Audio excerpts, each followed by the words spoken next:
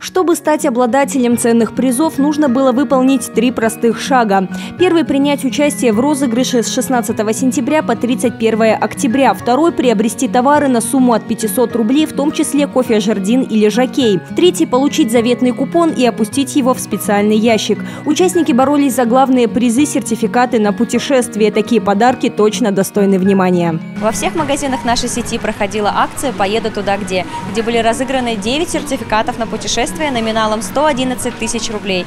И сегодня мы вручали призы нашим победителям из Забайкальского края. Акция проходила одновременно на территории Забайкалья, Иркутской области и Республики Бурятия. Из девяти сертификатов три нашли своих владельцев в Чите. Первый раз фортуна по по повернулась ко мне лицом.